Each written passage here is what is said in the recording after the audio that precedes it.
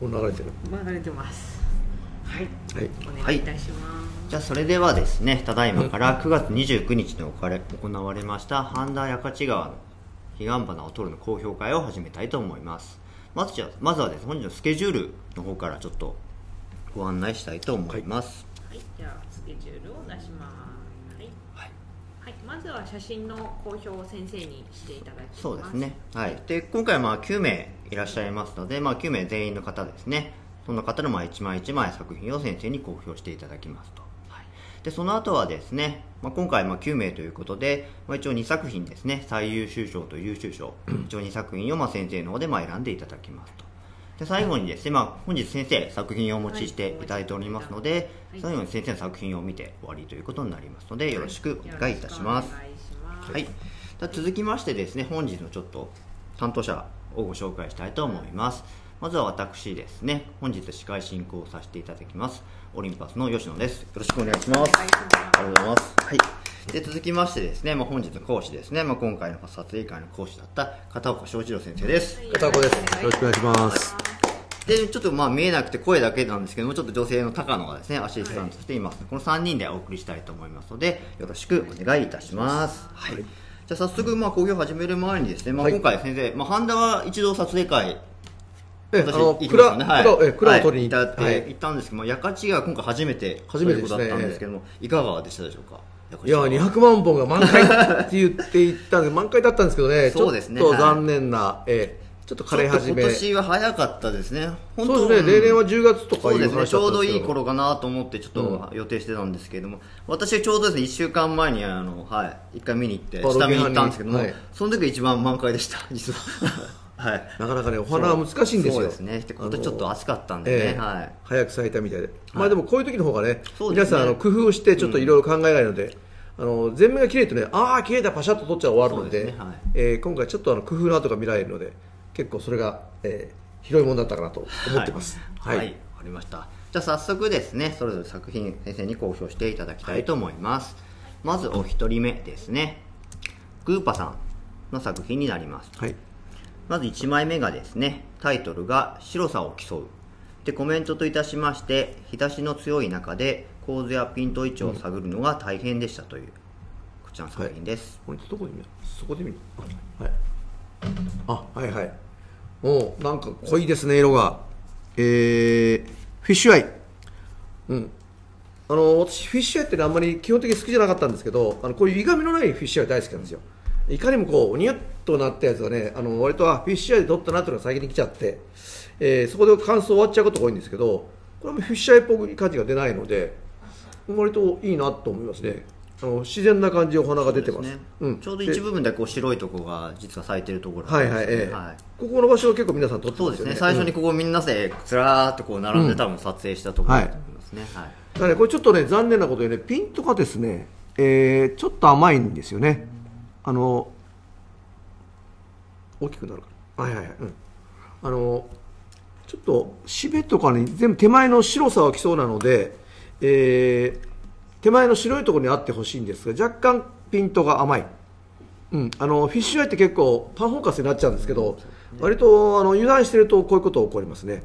あのちょっとこれ前にビシッとピンときてるとこれかなり面白い絵になったと思います、うん、ちょっとその辺が甘かったかなと思いますね、えータイトルも白なの白ですよね確かね。白を基礎でしたね。はい。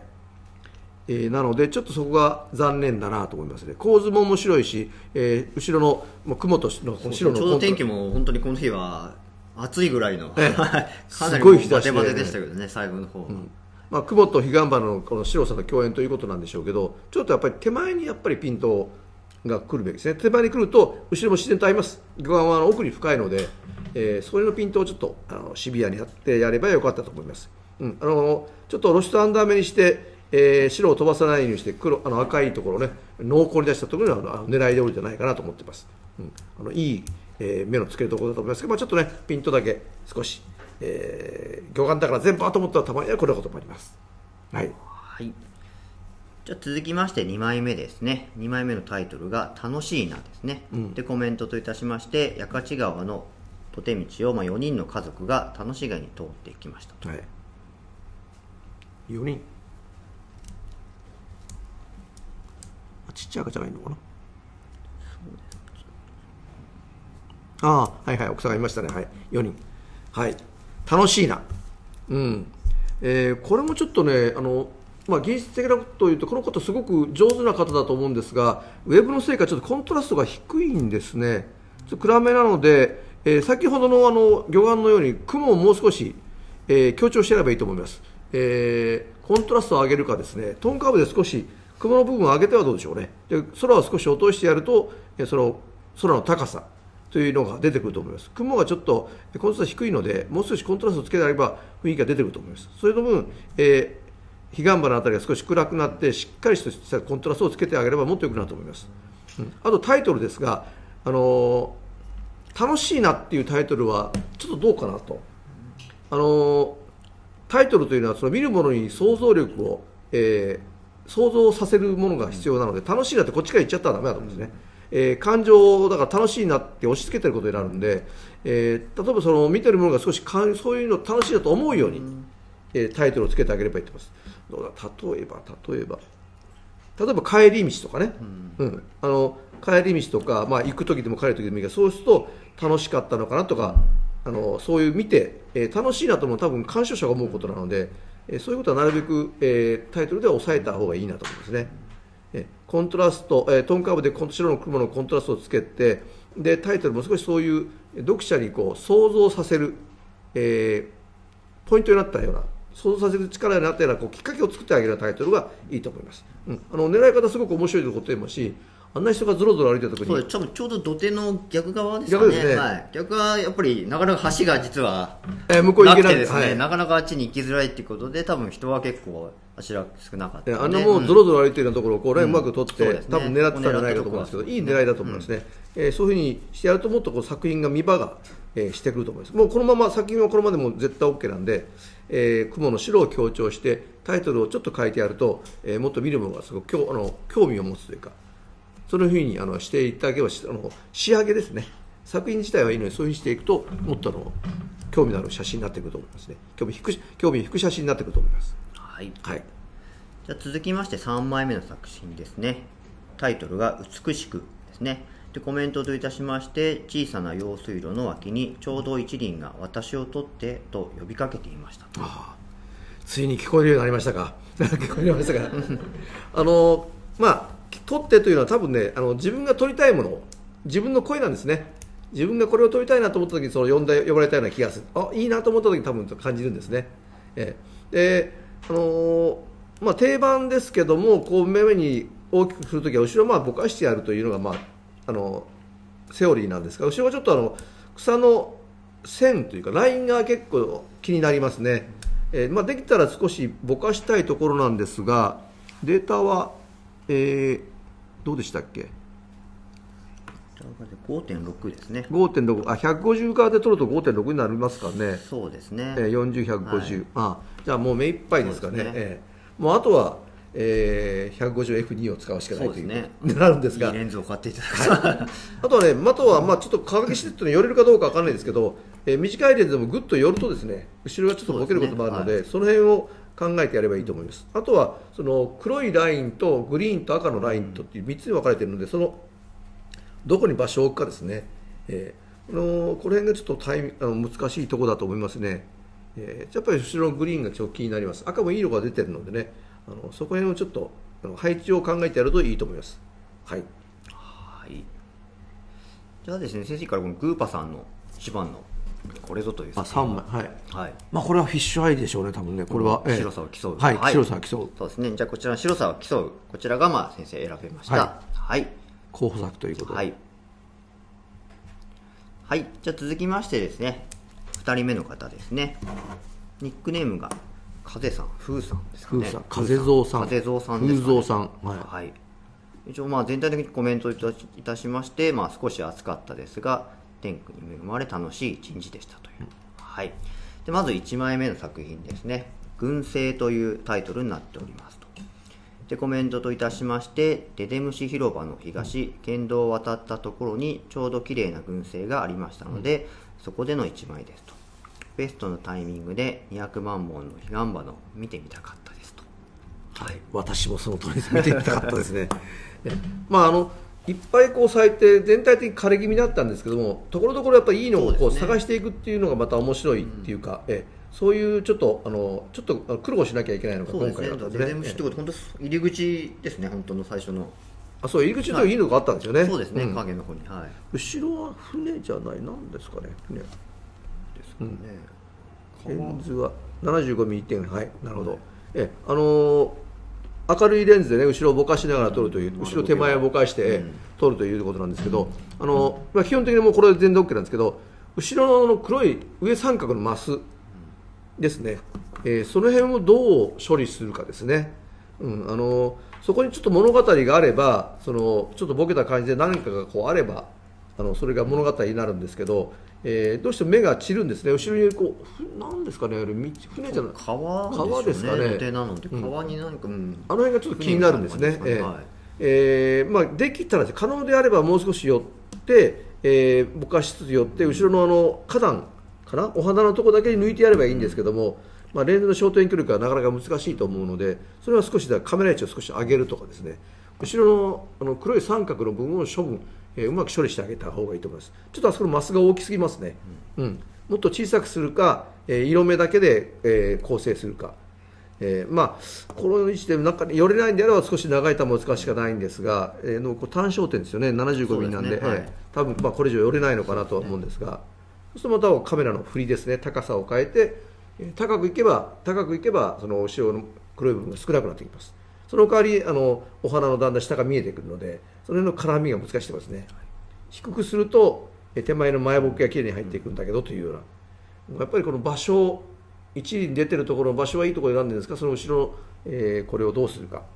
が課題ですね、うん、タイトルは何でしたっけ、えータイトルは軍政か。そうですね。軍政ですね。はい。軍政、うん、タイトル軍政だったらもっと全部にピント合わせた方がいいかもしれないですね一つだけなんで軍政の中の一つということでちょっとタイトルを、えー少し考えた方がいいかなと思います。はい。はい、続きまして2枚目の作品ですね。タイトルが「トリコロール」ですね。でコメントいたしまして秋を思わす青い空夏の面影を残す白い雲、そして赤い彼岸花。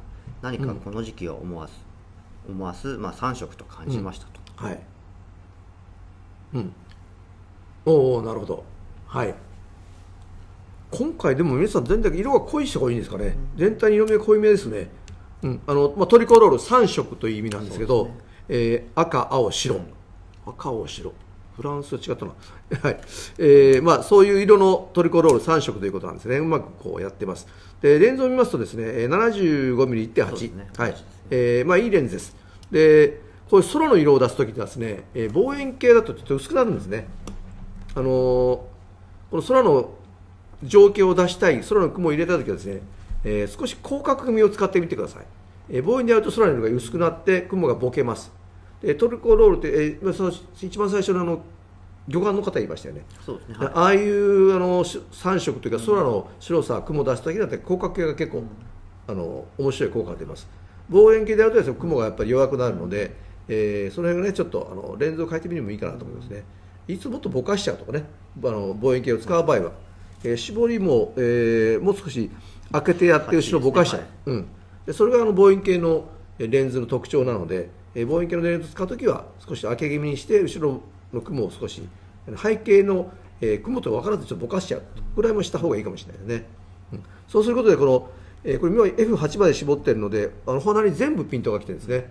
この中の主役をどうするかっていうのを決めた方がいいかなと思いますね全部ピント合わせるんであれば全部ピント合わせて広角でグッとやって後ろに雲がドカッて入れるような強い写真になると思います。望遠だと少しピント浅くしてえーセンターの一番真ん中でこうピント合わせたりとかすると、えー少し柔らかな、えー感じの写真になると思いますね。えーそれを望レン使うレンズの特徴に合わせて絵作りをしてやればいいんじゃないかと思います、うん。はい、タイトルトリコロールですね、うんはい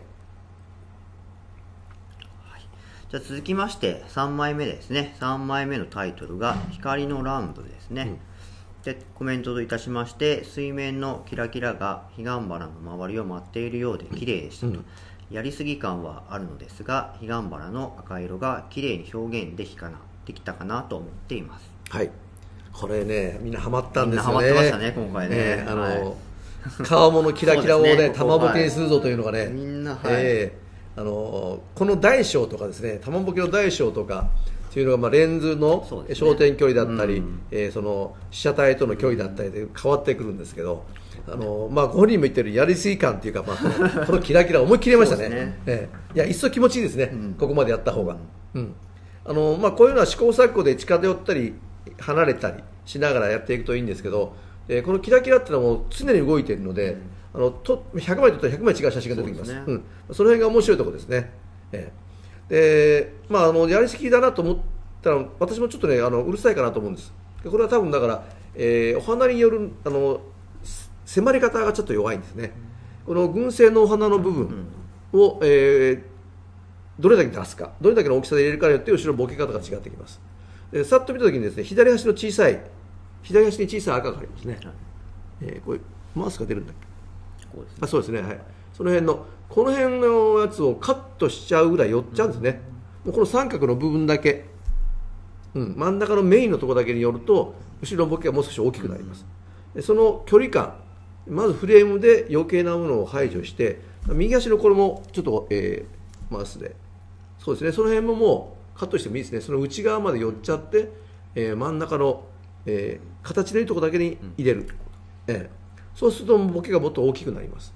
でそれはあとはもう風と、あの風の動きとでこう波の頭の動きで、あのボケが多分芸をしてくれるので えそれであの絞りとかでこう大きさを変えていく。というふうにすると、えー面白い写真が撮れるんじゃないかなとまあ、狙い方はとてもいいので、うん、そういうあのこれこそトリミングトリミングはあんまりお勧めしないんですがもしやるんだったら、えー先ほど言った2箇所ちょっとカットしてみてください、えーそうするとまたガラッと変わった画面になってくると思います、うん。えーちょっとね玉ぼけ皆さん、あの皆さん本当に後半皆さんこれにハマってましたもんね。そううん面白側からみんなこうやってはい撮ってましたからええね、もうはい。これしてやったりだったんですけどね、はい。ええそれを取りに行こうそうね。それを取りに行こうということ後半はそれを取るという、はい。はい、だったので結構皆さん、えはい、ハマってました。ね私も一枚あの作例が出てるので後で見ていただければと思います、はい、はい。以上この3作品の中から、そうですね、はい、えー僕おすすめは、まあ、最後ですかね。最後ですね、はい。ええ。こっちの光のランプ。光のランプ。はい、はい、こちらが選べられました。ははい。じゃあ続きましてですね、3人目の方ですね。ニックネームがヘイズさんですね。で、まず1枚目のタイトルがカラフルという作品になります。あ確かにカラフル。これもトリコロールと言えばいいんですかね。これも3色。ですね。三色ですね。はい。まあ、あのこういう時に一番 失礼。こういう3分割にうまくできているのが、まあ、割とトリコロールというあのタイトルに合いますね、あのまあ、これカラフルになってますけど、フランスとかイタリアのね、うん。こう縦そうですね。3色になったら、はい。まあ、トリコロールと言ったりしますけど、えーイタリアではトリコラーレだってなんかちょっと入れ方違うんですけど、トリコロールはフランス語だったんですかね。ね。でこれをですねあの、まあ、3色狙ってこれ一番最初に皆さん撮ったんですね。そうですね、最初ここで、はい、撮った、私もちょっと違う形で撮ってるんですけど、これはもう色はもう絶対色を狙うところですね、うん。で、えーこれちょっとあの気になるのはですね、えーピン絞りですね絞り14 14ですね。うん。マクロで。そういうことはもうかなり、えー後ろまでピント合わしちゃう、でこの辺のこう力加減っていうんですか、あのーこれが難しいところなんですが、えー標準ズーム50ミリ。50ミリあマクロですね。あマクロはい。50マクロ。はいはい。であの白い彼岸花ねバッチリ合って。る、うんそうですね。で後ろの赤がですねちょっとピントが上がってきちゃうんですねここまで絞ると、で50ミリでも10ミリまで絞るとかなりピントが来ちゃうのでさてこれをどうするか、例えばこれ28で撮ってみるとかですね、F2 か、2と撮ってみるとか。56で撮ってみるとか、そうすると後ろの赤の具合が変わり変わってきます。えそれと同時にねブルーの色が変わってきます、えーそういうのを少しあの試された方がいいかなと思います。ちょっとね後ろにピントが合いすぎたかな、と思うんですね。メインはやっぱりこれ多分白い花なんで白に白にもう白だけにピントが合ってればう後ろが赤ければ当然彼岸花ですから。えあのそんな感じになると思います。あとは下の茎ですね茎下半分、はい。その黒いマス。これをなるべく小さくしてあげればいいですね、えー全然全部カットするんじゃなくて少し寄ってですね、えーそこら辺から上をこう寄ってって寄って下の部分が少しカットできるようにして、えーもう画面がフレームアウトした方がまとまりがつくと思います、うん。もうあの絞りはね、えー F2.6 から22までもう全部使ってみてください。それはもう使ってるうちに慣れてくるので、えーまあ、花込みの中ではあの私のカメラに絞りは言いませんという豪語する人もいるぐらいですから、えーまあ、開放だけでやる人もいますけど、そこからちょっと絞っていくと後ろの表情が変わってきます。その辺をちょっと確かめてえー楽しんでいただければと言います。あとね半歩一歩前ですね。はい、半歩前へ。はい、じゃあ続いてですね。2つ目ですね。2つ目の作品になりますと、タイトルが「散策」というタイトルになります。はい。うん。こちらも50ミリマクロですね。ああまあはいですね、50ミリ一本勝負だったんですかね。そうですね。はい。ええ。7ですね、うんこれもですねこれも絞ってますね7.1はい。えーまあこれは後ろの人のボケ具合をどうしようかというところですね。あの人のぼかし具合をこう試行錯誤しながらで手前の、えーお花とのこうコントラストを楽しむ。でこれお花自体がもうちょっとあんまり良くないところなので後ろの土手の方もちょっと色があのくすんできています。でそういうところはやっぱりこうもっとぼかしてあげた方がいいですね。あの先ほど言いましたけど絞り位置を全部使ってみてください、まあ、あの絞りいらないと言わなくてもいいですけど、まあ、2ぐらいから少しずつ絞っていって28456という幅広いレンジで取って後ろボケを確かめてからシャッターを押す、うん。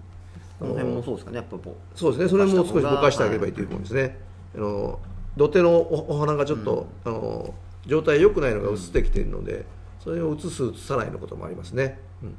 であとは、まあ、あの人の動きがあってお花ということ。でお花をもうちょっと入れた方がいいですね。綺麗すぎですね、うん、これは多分カメラの高さです。カメラをアングルを高くするかあ高くするか低くするか。高くしていくと土手の部分がもっと増えてきます。低くするとお花が大きくなってこの土手の部分が狭くなります。そうすることでこのお花と後ろの人物が近くなってきますから少しアングルを下げる。でそういうこう上下左右の動きをあのしてフレームを決めてから、えー撮られればいいと思いますね、まあ、狙いはもうしっかりしてますから何が撮りたいかがはっきり分かっているので、えーそれを実現するためにこうカメラのアングルをですね上から下にこうやってみてください。そうするとお花のボリュームと土手のボリュームと後ろのこう人の動きがこう変わっていきます。多分私だともう少しちょっとカメラ下げてもいいかなと思いますね。そうするとあの土手の状態の悪いのが小さくなって、えーお花が大きく撮れると思います、はいはい、じゃあ続きましてですね3枚目の作品です。秋の装いですねタイトルが。こちらになります、はい、おがっつり寄りましたね。がっつり寄りました50ミリマクロで5.6ですおね51本勝負ですね。はい。潔いですね、はい。まあいいレンズなんでねえー使い勝手がいいと思いますね。これのいいところはですね。あの左にピュッと伸びたところ。はいそこにもうピンとぴっしりきてますね。それが空に抜けて。そうですね。ちょうどこの雲でそうですね、うん。はい。これがもうあの彼岸花の力強さというかね、あの元気なところが出ててお花も傷んでないところが出てて、うんすごくあの狙いもはっきりしてます。ピント位置っていうのは狙いですから、えー見せたいところもはっきりしていると思います、えーただねこれあのよく言うあのあの基本的によく首切りコースとかありますよね。その辺なんて後ろの赤い 空と下の赤い部分の境目をどこに持っていくか。これお花の中にど真ん中にかかってるので、はい。これをカメラのアングルを下げて青空に抜くのか、カメラをアングル上げていって彼岸花の中に抜くのか、これは悩ましいところですね,、うんそうですね。ど真ん中っていうのはちょっと、えー上下分割しちゃうのでお花自体が弱くなりますね。あの締めの先までは目立つんですけども、下の部分がやっぱり弱くなります、えーちょっとアングルを下げてえーいくとあの空の部分がずっと増えてきますんで、えー空の中に彼岸花が浮いてくる。っていうようなするか。あとはもういっそのこと空を諦めて、えーもっと少し高いところへ行くと後ろのボケた赤い中にまた赤いものが出てくるというそういう画面作り。あのアイレベルですけど見た目でパッと撮らない。そこからこうさっきと同じようにこう上下してみることで比率が変わってきます、えー多分その余地はまだあると思いますね。ただこの力強さいいですね。あの空にピッと伸びたところが印象的な作品です、うんはい、以上が平さんそう3作品になりましてはい。うんうん一枚は。うん力強さから1枚目いきましょうか。1枚目ですね。はい。はい、こちらが選ばれました。はい。はい。そうですね。これもちょっとね絞りを少しあの開けたり閉めたりしてこういうのを狙ってみてください。はい。はい、じゃあ続きましてですね今度は4人目の方ですね。ニックネームが羽うささんの作品になりますと。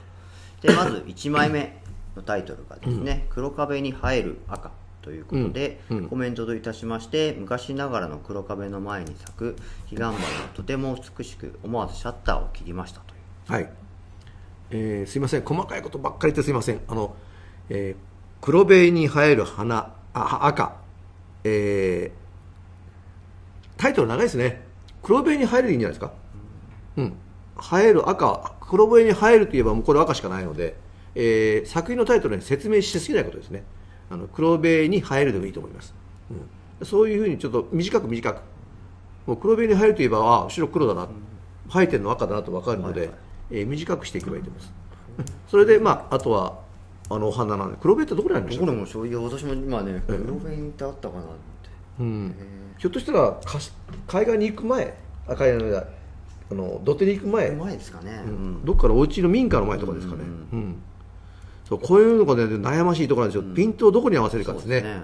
あの締めのところに1本ピッと来てるんですけど、その締めが強調されてないんですね、えーまあ、できたらお花の一部分、えーマウスでいいか。お花の、えーこの辺そうですね。その辺マウスのところからぐらいからお花に回ってその中で締めの1本2本に来てるというのがいいと思うんですね。花辺あのお花のところが大体ピントが弱くなっているので、まあ、ピンボケ感が出ちゃうんですね、えーどっかに1箇所合わせてやればもっとはっきりしていくと思います。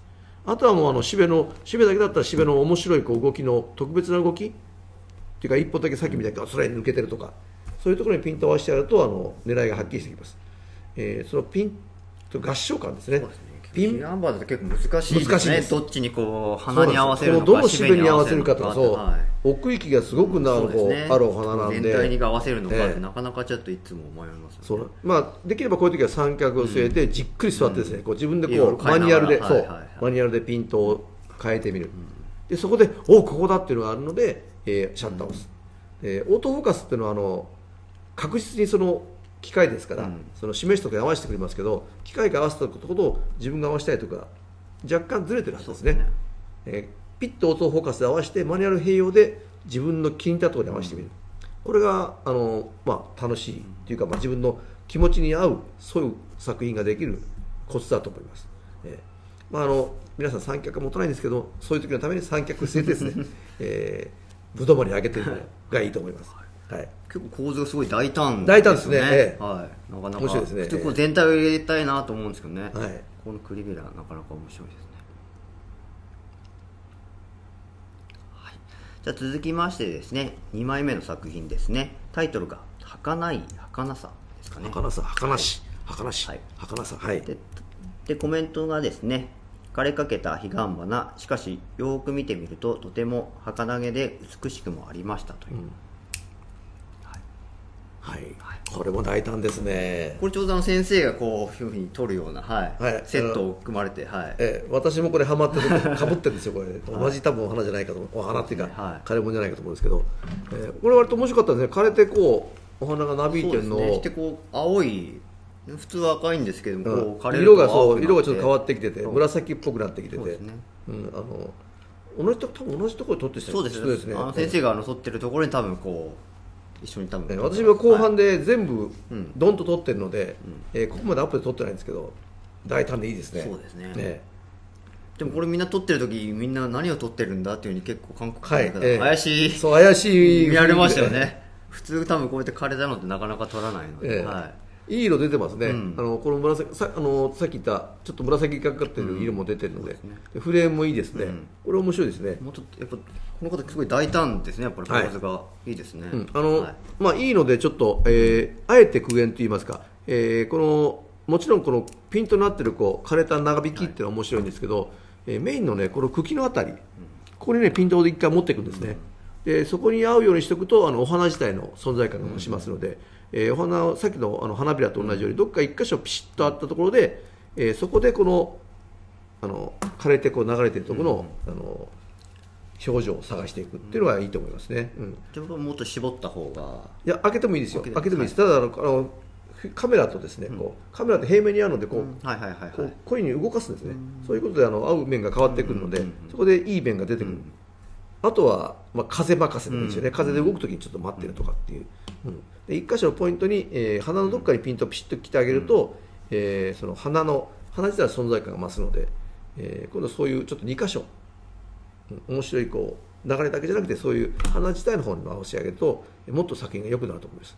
狙いもいいしあのカットも大胆なんでと思いますがでもちょっと気になるのはね、えー、これトリミングしてますね多分、えーどこをどう切ったかわからないんですけどとえーはい。縦横比が、えちょっと66に近い形ーそうでまあ、四角でもないんですが、えー43から少し、えー3対3.5ぐらいな感じになってますけど、あのまあ、あのトリミングがいけないってわけじゃないんですが、まあ、なるべくフレームで見たままを出してそこからあの、えーか加工するというかね、えー見た方がいいと思いますね、えー四角なら四角。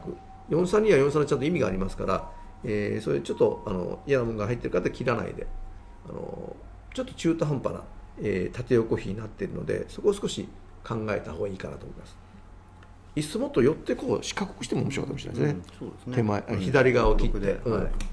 スクエアでやってるんですね、うん。最近スクエアって66って言わないんですか？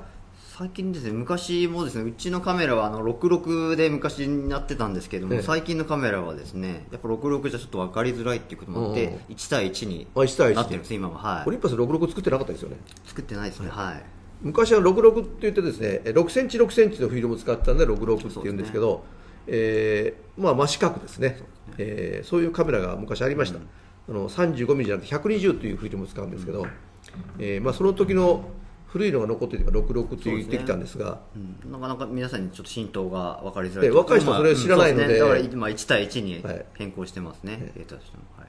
11でいいんですかね。スクエアですかね。ね。私のおじさんは66って言います、はい、66のカメラ使ってました、ええ。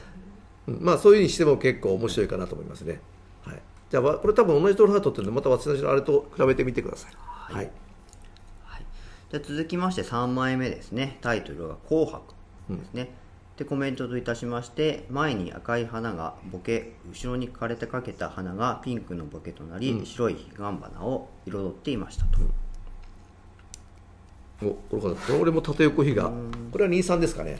そうですね。長いですね、はい。2対3ぐらいですかね、まあ、あの縦位置のものは縦位置あ縦に長いものは縦位置で取るっていう、まあ、これはよくあのはまっていると思いますね。えちょっとね露出が気になるんですね。あの白い花のハイライトの部分が少し飛んでるような気がします。そうですね。ちょっとこの辺、はいあのーこの辺の露出をちょっと気をつけてください、えー真っ白っていうのはあのプリントした時にですねベタって言いましてグラデーションが残んなくなるんですね、ベタっとした感じになるので、えーまず露出をですねその白飛びをしないように露出をして、えー全体多分暗くなります、えー手前の赤い部分とか多分真っ暗になってくるので、まあ、その辺は現像で上げる、でそのために JPEG で撮らなくてローで撮って、えー現像するというのを覚えてください。あのそのための現像です、えーカメラはですね1回の露出あの露出で、えー写し取れる範囲が決まってます、えーそれはまああの、えー今そうか今のダイナミックレンズですね。ダイナミック昔のラチシュードと言ったんですけども1回の露出でこう取り込める光の範囲が決まっているので、えーどっちかにこうずらさなきゃいけないですね。でデジタルの場合はハイライトがとても弱いので、えーこれ白飛びがすると後で戻せませんが、えー暗いところは割と明るくできます。でこれを基準にしてこの白い部分を真っ白に飛ばさないように露出を控えてやって暗くなった赤いところを現像で上げてやる。そういうあの作業をするために、えーローで、えーローローというデータで取っていただくと、えー作品に仕上げるのが楽になりますのでぜひあのそういうことも考えながら露出の基準を少し、えー明るいところに合わせて飛ばないようにしてみてください。そうするとこの作品もっと良くなります。はいはいはい、じゃあ羽生さんの一番。うん、これは2番でしょうね、二番ですね、ちょっと縦横が気になるんですけど、はい。まあ、この大胆なところで、はい、ええ。こちら儚い儚い。儚さですね。はい、こちらがえー選ばれました、はい、じゃあ続きましてですね5人目の方ですね。ニックネームがダルタニアンさんですね。はい。はい、でコメントといたしまして当日は暑くてくたくたヘロヘロでしたが撮影会は楽しく過ごせましたと先生好評よろしくお願いします、ということです。い。つも参加ありがとうございます。遠いところからということでありがとうござい。ます。えー。でまず1枚目ですね。1枚目がですねタイトルが「昔話の里」になりますでコメントといたしまして群生する彼岸花により一面が赤く染まっている風景を一度撮影してみたかったので円形での撮影にトライしてみましたというこちらの作品です。はい。これその前に一応全部見せていただいていいですか？はいはい。はい。2番目。あ、やっぱり、やっぱり、はい。はい。はい。えーこの方は OM レンズ使いでしてね、えー フィルム時代の OM レンズを使ってあの結構使ってる方なんで全部それできましたね。そうですね。えー、3点 OM レンズ。です、はい、なるほど、えーそうですね。後ろあのもう狙いが決まってましてね。あの最初からこう考えてきているのがあの絵にできてます、もうばその思った通りですね、えー後ろ赤い彼岸花を拝見して、うん、多分見た時にあこれはい基盤が取れないんじゃないかなと思ったんじゃないかと思うんですね,、うんでそれをバックに使ってぼかして、手前のコスモスを大胆ですね、うん、あの狙いもいいです、えー面白いですね。で周りも少し落としながら、えー真ん中のコスモスが目立つようにしてます、うん。でこの色もいいんですがちょっとあの濃いんですがその赤の部分をですね、えー少しもうちょっと赤くしてあげたい。ちょっと濁りが出ているので、あのまあ、再度上げるというとあの画質があの壊れることが再度あまり触らない方がいいんですが少し明るくしてやるんですかね。ちょっと明るくしてコントラストつけると多分赤があの生えてくるので少し明るくして真ん中だけですね。周りは暗くしてもいいです。でそうすると真ん中は少し赤い派手なところが出て周りをちょっと再度落とした赤が出てその真ん中にコスモスが出る。あの絵作り、えー撮るばっかりじゃなくて撮ってそこから作品にしていく。カメラが撮ったものが作品じゃなくてそこから自分の心情に合わせて作り込んでいくというのは、えー少しやっていくともうこれ彼女できているので最初から狙いも決まっているので、そこら辺をやっていくとこれはかなり面白い作品になると思いますね。やっぱり気になるのはこの画面の半分以上を占めてる赤の、えーちょっと濁り具合。これもっとすっきり一部すっきり真ん中あたりすっきりさせてやるとかなりかなり面白い写真になると思いますね、うん。でまあ、あとは後ろにあるこの白いハイライトのボケをちょっと抑えてやってもいいかなと思いますね、ええ。その辺の作り方をやっていくとかなりいい感じになりますね。狙いもあるので、うん、いいんじゃないでしょうかねこれかっこいいです。じゃあ続きましてですね2枚目の作品です。タイトルがですねグレングレンカ。グレンバグレンカ、うん。ですかね、うん。でコメントが「彼岸花の花言葉の一つ情熱そのイメージで」はいという。ことです、はい。おこれいい。おお大胆ですね。あいいですね。これはいいぞ。あ。うんなんかちょっと、うん、いいんだけどちょっとなピンとこないぞみたいな。そうですね。えー欲しいですね。うなどうにかして合わせたい。だから後がピントだけはね後から直らないんですよ、あの明るさサイド。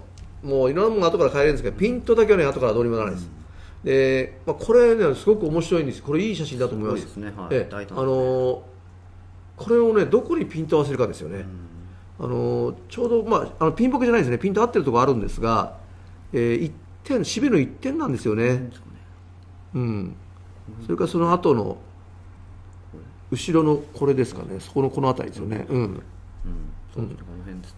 多分ねこれはねシベ1本全部に合わせるんですどれか1本、ということはカメラと平行に出てるシベを選ぶんですね、カメラが斜めになるとそのシベの先っぽか真ん中か後ろかこう1点にしか合わない。カメラと平行になってるシベは1本全部あります。でそういうところ1本ピシッと芯を通す。この場合は多分お花になくてもいいと思います。どれか1本浮いて綺麗なシベをシュッとこれに1本ピントが来てるとこれは面白い、うん、この赤の中に赤ってすごくいいですね。ね赤の中に赤ってそう黒で締めて、うん。これはすごくいいんですね。ただちょっとやっぱりその僕のピントがどれにするか悩むところですね。合ってるとこがちょっと、えーはっきりしない。例えば下でもいいんですよ。一番下のでもいいしこの上のやつでもいいんですけど1本全部に合わせる。でカメラをちょっとこう左右に振ってみてですね。そういうとこを探してみる。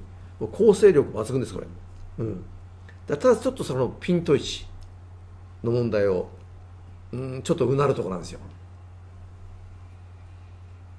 こうもうちょっとうならしてほしい。もうちょっとうならしてほしい、うん、カメラはちょっとね、あのまあ、風があったりとかするとなかなか難しいんですけどもちょっとずつ変えながらあのやると必ずとあの撮れますから一線はこう一本は必ず合います。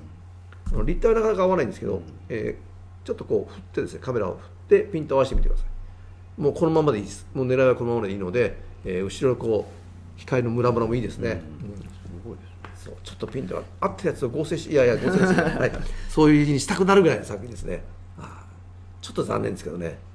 はい。いい感じだと思いまあ思います。はい、じゃあ続いて3枚目の作品ですね。でタイトルがこれレテンだとレテンコスモス空ですかね。うん。秋桜空ですよね。逆戻ってくるんだから戻りってですか、うん。コスモス空ですかね、うん、ですかね。はい。ね。はい。でコメントといたしまして秋空にコスモス抜けるような青空だったので10日後の1枚にトライしてみましたが強風で大変でしたと、うん。まあ、コスモス一つですが風は大変ですね。そうですね。えーフレームからいなくなりますからね、はい。はいえ。結構風もありましたね、はい。当日は。えうん。あの面白いです。まあスクエアでずっとこう全部そういえば全部スクエアですね。そうですね。ん。全部スクエアでなってますね、11で、はい。えーまあ、あの自分で決めて今回はスクエアということで捉えていると思います、えーあの大体皆さん皆さん全部3点ともあのフレームは成功してると思います。すごくいいフレームだと思います。これもあのいい感じです。同じです。この前ボケのお花がですね、えー遠近感を出すために前ボケっていうのは前ボケ後ろボケっていうのはこう奥行きを出すために、えー前ボケ後ろボケを作るんですが、えーこういう位置関係だとですねちょっとこれお花でかく見えませんか？そうですね。奥に奥か手前かよく分かんなくて、奥にでかい花がある、うん。というような誤解を招きそう、というのはですねお花が向いた方白いお花が向いた方に花があるように感じるんです、ということはお花が向こうを向いてるんでその向こうの先にお花があるってことは、奥にでかいお花があるみたいな、そういう感じになるのでもっとぼかしてやる、お花の形しないでぼかすんだったらもっとぼかしちゃった方がいいですね。で10日後狙いはいいですね。あのお花の、えー筋筋筋筋ですか、あの花びらのね筋が出て、うん、あのちょっとピント甘い？そうですね、うん。少し。はい、少し甘いですけど、まあ、あのまあ狙い方は、はい。いいので、あ狙い方もよく伝わってきます、もうこういうのはねあの筋一本一本が ピシッと出てあの例えばその額のこう、線がピッと出てなんぼですから、そこをしっかり狙って、えーこれはあそうか OM だから絞り位置が出てないんですね。そうですね。ん。えー後ろに何もない時はですねちょっと絞ってあげてください、えー絞っても後ろにピント合いませんから何もないと、でちょっと絞ってやるのも手ですね。であとはもう手前のお花との距離感で、えー手前をもう少しぼかした方がいいかな。で、まあ、さっき言ったようにお花が向いた方にものがあると思うので向いた方に花曇って、えーボケた花があるということは後ろにでかい花があるように感じてしまう。でその辺のまあぼかし具合を少し考えていただければ、えーこういう時は絞っちゃいましょう。で後ろになんかこう草とかあるとピント合っちゃいますけど空ですからいくら絞ってもピントありませんから、えーその辺のあのちょっと、えー慣れというかね、えーやってみるといいます、まあ、フレームもいいですし、えーこの方3点ともフレームは結構ナイスですね。えはい。じゃあダルタニアンさんの。ーいやーこれ悩むな2枚目選びたいんですけどね。ちょっとピントがないんですよね。これ2枚目いい感じなんですけどね。うーん。1枚目いきますか。はい。3枚目じゃなくてこちらですね。1枚目ですね。はい、うん、これはなかなかい。い感じで出てはい。選ばれました、あの赤の赤のサイドを少しちょっと明るさとサイドを、えーちょっと触るようにしてみてください。もっとすごく良くなると思います。はい。はい。じゃあ続きましてですね、6人目の方ですね。ニックネームが梅さんですね。はい。で全体的なコメントといたしましては、あいにくの花の盛りは過ぎておりましたが、天候にも恵まれ楽しい一日を過ごすことができました。ありがとうございましたということです。はい、でまず1枚目の作品なんですけども、はい。タイトルが「快晴」ですね。はい。でコメントが「青い空に赤い彼岸花がよく映えました」という。こちらですね。これポップアートじゃないですよね。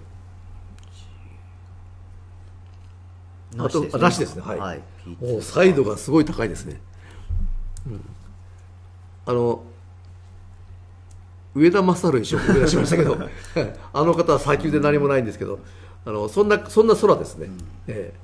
あのまあ、サイド上げるとですね見場はいいんですよ、ただ見場はいいですがあの例えばこれプリントとか作品で見るときですね、えーやっぱりいあの現実感と離れてくるのであのちょっと違和感を覚えるんですね、えーそういう逆にそういうふうにやるであればいいんです。あのシュールな感じにするとかねもっとギンギンサイド上げてちょっとシュールな現非現実感を出すときにはいいんですが、えーまだそこまでいってないので、えーちょっとサイド上げすぎですね、これ赤のサイドがものすごく高いので、ポップアートでもないということなのでね。あとサイドね。えーあとサイドで上げたんですかね、ちょっとサイドが高いと思います、まあ、フレームは面白いと思いますね。こう彼岸花の赤があって、うん。あそうかこれ、はい。うん、多分撮った時にお花が傷んでたからちょっと赤くしちゃったんですかね、色色がこう、うん。赤っちゃけてたから、ね。えちょっとビビッとか、ービビッとか、うん。うん少し上げすぎたかなと思います、まあ、面白いですね。あの人の流れがすっと右下にこう,、そうですね。左から右に行ってそれと同じように雲が流れてて、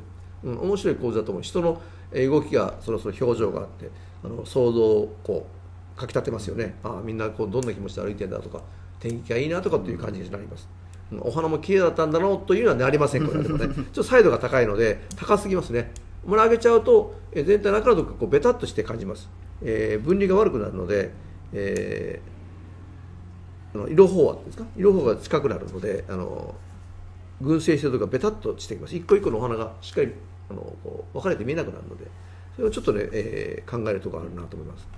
もう行くんだったらもっとサイド上げてですねギンギンしてシュールな感じしちゃう。でそういう作品でタイトルもそういうシュールなタイトルをつける。という方向はっきりさせたわけですね、うん。ちょっと、うん、面白いんですけどね構図面白いんですけどね雲の表情もいいんですけどねちょっとやりすぎたかなって感じがします、はい。はい。続いて2枚目ですね。タイトルが最終章ですね、でコメントが1週間しか咲かない彼岸花の最終章。まだ薄く残っている色や枯れた花瓶の形が最後まで主張しているようでした、おここにも枯れ物が出てきました。枯れ物ですね思いっきり枯れてますね。結構こういう枯れ物やっぱ多かったですね。当日は。まさか花込みの行くではないと思うんですが。いや枯れるものは結構面白いんですよね。枯れてもね。てもやっぱりその青色がすごい逆になんか色が出たり、ね。色が変わったりですね、あと自分のこう人生を投影したりとかですね、えー周りのこう対比を見たりとかする、うん。そういうねね。あの人の気持ちを乗せやすいというのがありまして、枯れ物もなかなか人気です、まあ、後ろをぼかしてね枯れ物をこう出してるんですけど、後ろの、えー咲いてるお花と手間の対比して手前の枯れ物ということなんでしょうけど、うん。あのこの方もですねあのピント位置が難しいですね、えー、道路で左の高い花ですね、合ってるのがね、ええで左の高い花ピント合ってるんですがその左の高い花って後ろに後ろにお花が見にやすいます。まあ。続いてますよね、そうするとごちゃごちゃになっちゃうんですね。多分これ真ん中ですね、真ん中だとこう真ん中のお花だとピント来てないですけど後ろ何もないですよね。この背景に。これにピント合わせるとすごく目立ちます。で本当にピントっていうのはもう1センチ違えば雰囲気が違いますから、えー自分がどこに合わせるかってしっかり狙ってあげた方がいいですね。こう後ろにごちゃごちゃあるものに前合わせるとこうごちゃごちゃが横に目立ちます。でそういう位置を選んで主役は一つしっかりピント合わせるというようなことをしたらいいと思います。絞りいくつになってますか？これが2.8あですね。開放ですね、うんはい、60マーク、はい。はい。うん。まあ、薄いピントなので、えーその辺のことを、えー注意しながらしっかりどこにピント合わせるか、うん、でもっとはっきりさせるためにはもっと寄る、寄れば寄ったほどピントの合う範囲が狭くなりますから、えーそれほど主張がはっきりしてきます、うん、あの多分狙い方としては合ってます。間違いなってません。だからもっとしっかりこうどこに合わせるかっていうのをしっかりやってやると、えーもっと面白くなると思いますね、うん、寄ることによって寄ることによって後ろのボケも大きくなるので、うん。あのその辺の、えーこうなんていうかなメリハリがついてきます。であとはねあのレフ板を使ってみてください。この枯れた茎が真っ黒でドンドンドンと強いんですねとても。で黒がつぶん強いので、えーちょっとはその存在感大きいですね。でレフ板でちょっと、ね、光を当てられる。そうすると茎がねあのいろんな色が出てきます。真っ黒から色が出てくるのでそのレフをねちょっと使うことを覚えてあげれば全体のこの突出した黒というのがあの多分薄くなると思います、えーレフ板はですね大体1000円ぐらいで売ってますので。先生愛用の。はい、あの、はい。一番のコストパフォーマンスいいですね。いいといはいー75.18買うよりも全然安いですからね。はい。えー、700枚ぐらい買い、あ70枚ぐらい買いますね。はい。ぜひえ、でもレフ板70枚で75枚買える。75枚の方がいいな。まあでも1枚あるとですね、はいあのいろんなあの効果を使って銀と白とね、両方使ってみたりとかすると、えーこういう時のこの黒の強いところが弱められるので、で1枚持っておくと便利だと思います。うん、はい。そうですね。あとピントですね。はいはい。はい、じゃあ続きまして3枚目の作品ですねタイトルが、まあ「夢中」ですねでコメントといたしまして片岡先生から学んでいる場面ですが熱中して寄り添うような様子に思わずシャッターを押していましたと。どっかで見たことやつけるぞ。これ本当最初ですね。あ、一番最初の白い時ですね。はいそうですね。はい、はい。はい、えー、コンバーターこつけてええ2人とも同じコンバーターじゃなかったでしたこの子はい。と手前の方もオリンパスのあれですね。はいそうですね、センサーで、ははい。い参加者のこれ多分は私の最後の時に出てきますんで、えーこの時にこんな格好して撮ったのがどんな、えー格好で出てくるか後で見ていただきたいと思います。はい。じゃあこれはこれはコメントコメント差し替えましょう。ははい。い、これはちょっとはい、はい。えーこの時に撮った写真が出てきます。はい、はい。わかりました。はい。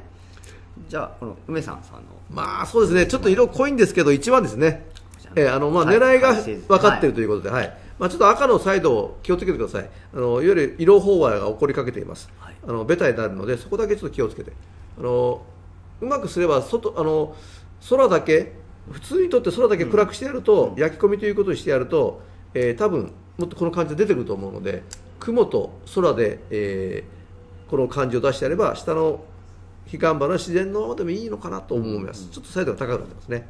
はい。じゃあ、続きましてですね、7人目の方ですね、あゆひこさんの作品になりますと。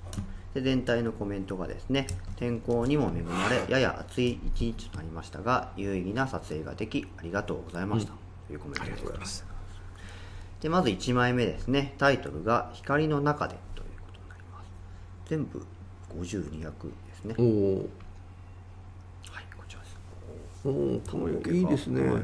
え玉置が綺麗ですね、えうん、このなんていうかなこうブルーブルーグレーみたいなのがいい色出てますね、このレンズなんですか？52役です、ね、ああ50名玉ですね、はい。この辺がいい感じなんですね、うんマラボキも綺麗ですね、やっぱりいいレンズはやっぱりこういう時、は楽ちんですね、うん。何もしなくても綺麗に写ってくれるというのが、うん。あのこれも例のキラキラ、いうん。キラキラ玉ボケシリーズ、はい。多分皆さん撮ってる時の多分後半の方だと思いますね。はい、うん、いいですね。あの花もすごい綺麗はい、花も綺麗に来てますね、はい。ええ。あのいい感じだと思います、えーこれはですねもうこのままでいいんですけどあとは絵作りとしてですね、えーもう少し明るくして、ま、周りを落としてやるとか、そういうあの絵作りを少し覚えていただくといいと思います。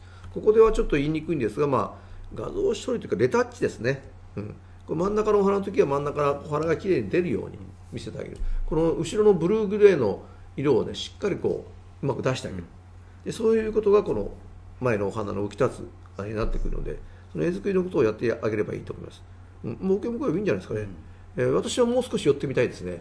もう、えー左側切っちゃう。左目いっぱいまで切ってですね。で出ないか、えー画面の左そうあの切って下の下も切っちゃう。っていうキラキラとあの画面の左隅の花がボンときてですね。後ろをキラキラにしちゃう。で結構迫力が出るんじゃないかと思いますね。で5200で撮ってもう200派ですかね。それは分かんないか。そうですね。ちょっとそれは出てないですね、うん。はいまあ、あの長い方でがっつり寄ってみるいいですね。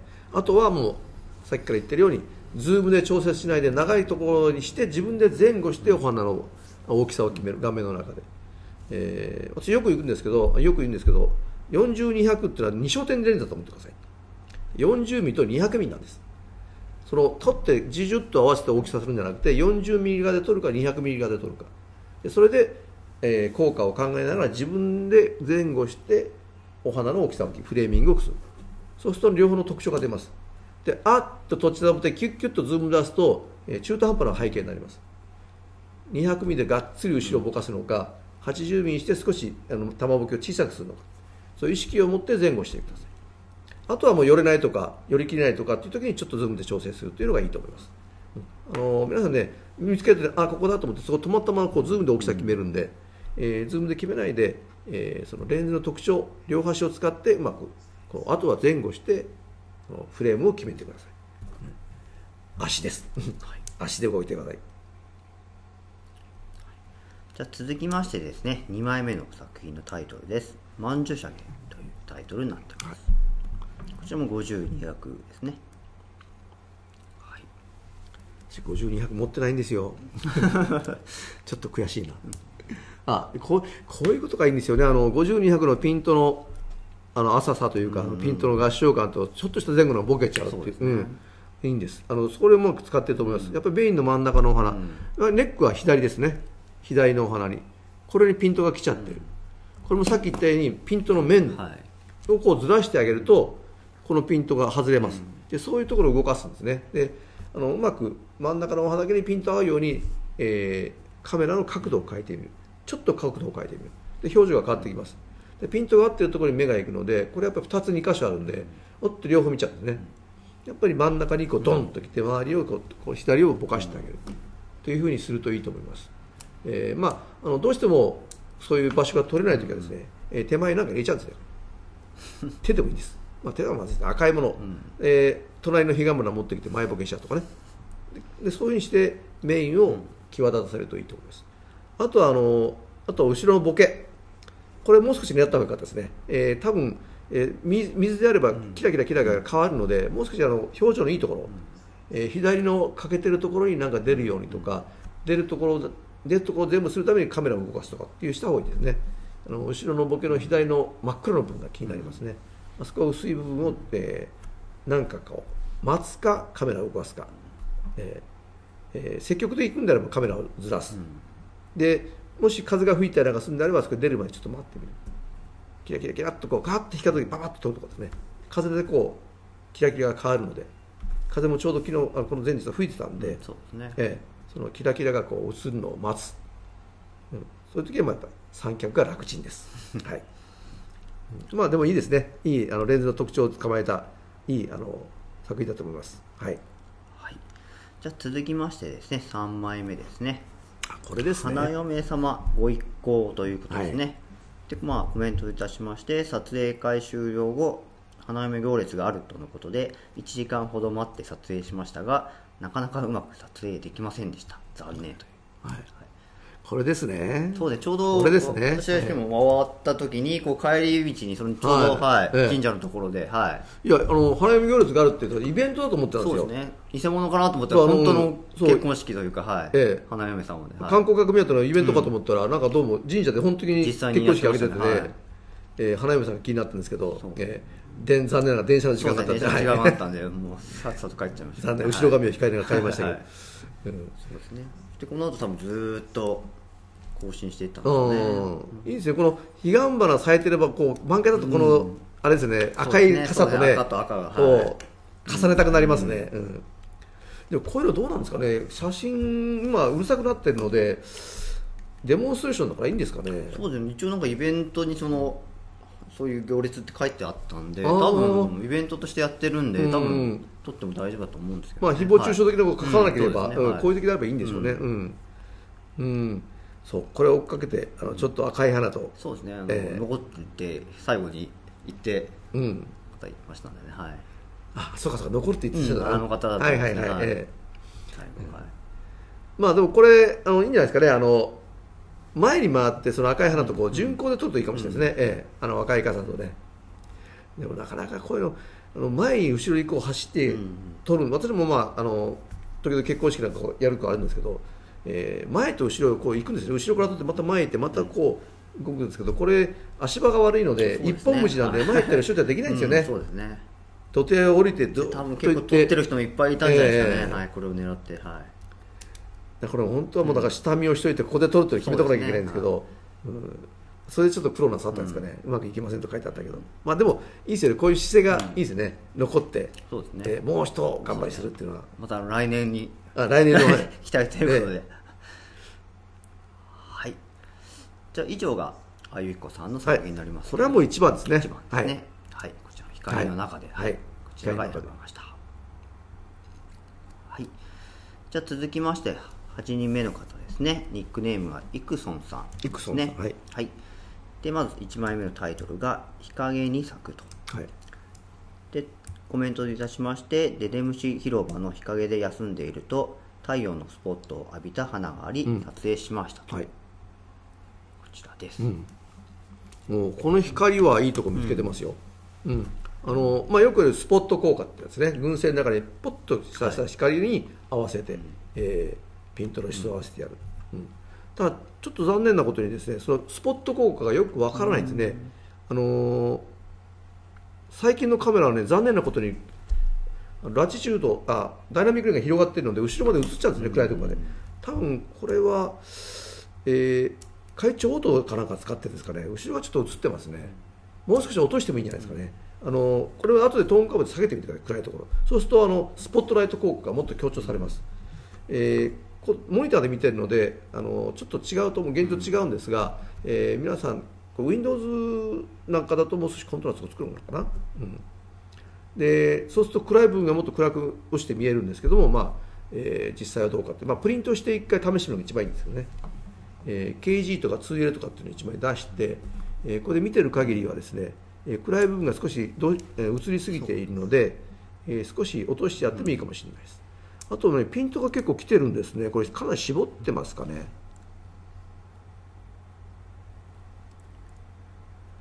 40150 F10 ですね。ですね。ああ。F10 多分これ絞らない方がいいかもしれないですね、あの F10 まで絞るとかなりやっぱピントが来ちゃうので、えー少し開け目でもいいんじゃないですかね。で少し開けるとシャッタースピードさっき低かったですけどもう少し高くなって取りやすくなりますから、えーで少しだから後ろもっと暗くするようにして、えー絞りも少し開け目で後ろをぼかしてやると。するとあのこのお花の、えーが浮き出て生えてくると思います、うんまあ、まずは後ろを落とすことですね。多分この程度だったらあのトーンカーブで調節ができるのでトーンカーブの左端をちょっと下げてください。いや左3分の1ぐらいちょっと下げてみてくださいで右3分の1ぐらいをちょっと上げてみてください。でそうまあいわゆる ESG 補正をしてみるともう少しこのスポットライト効果が、えー発揮してくると思います。これデデムシのあたりは日陰だから結構花が残ってますね。あそうですね。ん。あの辺だけ唯一日陰というか、はい。もうこれ面白いとこ見てください。こういうスポットライト効果を見つけるのはね,、なかなかあの目が肥えてるというか、はい。い、いところ見つけると思います、で続いて2枚目ですね。タイトルが「延べに花」というタイトルです、はいでコメントが「土手の上を行き交う人々と彼らを見守る花々を対比しました」と。こはい、ちらですね。なるほど。花が見てるわけですね、はい、あこの方もこれも絞ってますね、この手のこの手のってこの作品はこういうのはですね絞り値がとても大切なんです。9ですね。F9 あかなり絞ってますね、はい。えーまあ、どさっきも言いましたけどその土手の上の人と手前のお花のピントの生かしがですね。どっちをぼかすか、手前をぼかして人を出すのかお花に合わせて後ろをぼかすのか。えその兼ね合いですね、えー絞り値をどうするかってとても大切、えー F9 でしたっけ、ねはい。えーかなり絞ってるってことはこれ両方が出てくるんですね、で両方が出てくるよりもすでにあのというよりも土手のお花にピントが合っちゃうんです。であまり状況が良くないお花なのでできたらぼかしてあげた方が良かったですね、うんでまあ、狙いとしては面白いので花に見守られる人々って、まああの感覚が面白いので当然めお花にピントを合わせて後ろの人もまあ多少出したかったんでしょうね、え少し絞ってやる、うん、ただ土手の花がどうしてもこういう状態なのでちょっとぼかした方が良かったですかね、えー少しぼかしてあげてみた方が良かったと思います。レンズもあのさっきの色の濃い方のように、えー雲を強調したければもっと広角でやりましょう。広角がガツッとやると空がガッと真っ青になって白い雲が出てきます望遠でやるとどうしても白が、えー白と空の色が落ち着いてくるので、えーあのおとなしくなりますね。だその辺のレンズの選び方もあの広角か望遠か標準かとその辺の域を選んであの空の表情はやってあげた方がいいと思います。まあこれは狙いとしてはしっかりしているので、えーまあ、あのタイトでいくならば、えーお花の下を切ってあげてください、下の草の部分を切ってお花と土手と人とやってあげた方がいいと思います、うんそうするとその狙い通りのえー花に見守られる人々っていうのが出てくると思いますね、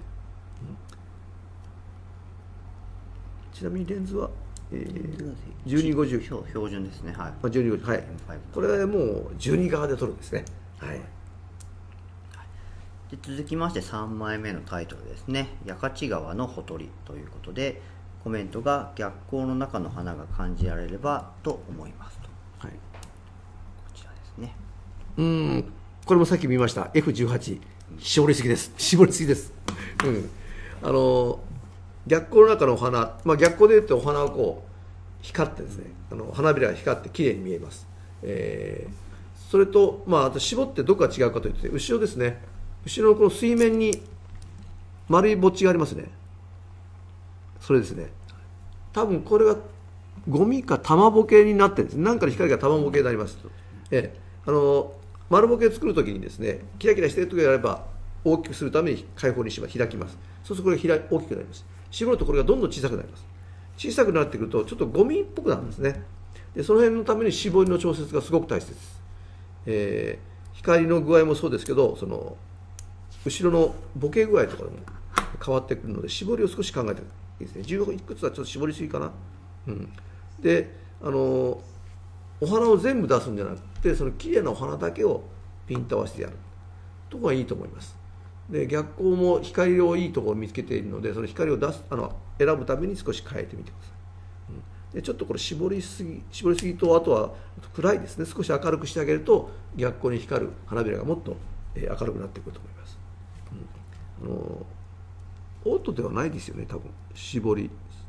普通18まで多分絞らないのでですね。えーはいえー絞り優先だとそう絞り優先でやったのかもしれないですね、えー絞りのコントロールをあのやってみて同じ場所でですね開放とがっつり絞ったのを比べてみれば分かりますので、えーで分かんなければ一回取ってみる。